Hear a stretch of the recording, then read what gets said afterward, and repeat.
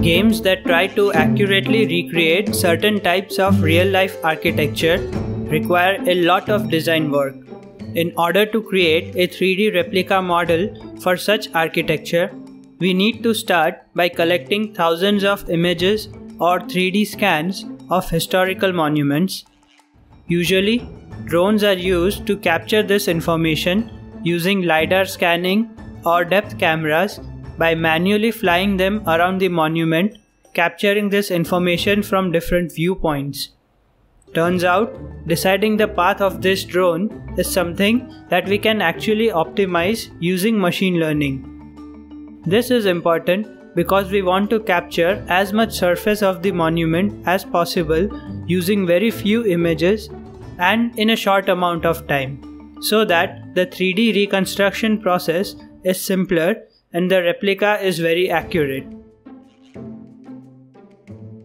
Today's paper titled Next Best View Policy for 3D Reconstruction explores this method where they propose a reinforcement learning method to decide the path of the drone. In this work, synthetic data is used for training the RL agent using Unreal Engine. A 3D house designed manually is rendered as a 2D RGB image from the viewpoint of a drone. This image is fed to a deep neural network as state observation of this environment. The neural network has to learn a policy to decide what the next best view is, so we can say it is essentially learning to control the path of the drone capturing these images. In order to give rewards to this policy network, a 3D reconstruction module is used to reconstruct a point cloud from currently captured depth images. The accuracy of this 3D point cloud reconstruction decides whether the reward will be positive or negative. Hence, using any off-the-shelf reinforcement learning algorithm, this network can be trained to optimize this scanning process.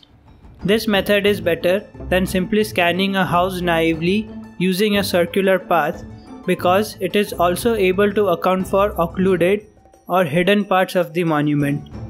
For example, in this case, the drone is able to account for the hidden parts of the house that are occluded by the roof. As shown in the paper, this RL based scanning method covers 97% of the house compared to just 87% for manual scanning. Let's just take a moment to appreciate how much research work needs to go behind the development of such huge AAA titles just so that we can solve very specific problems like the one I covered in this video. It's not something we appreciate enough when we simply look at the end product, so it is truly incredible to come across this paper.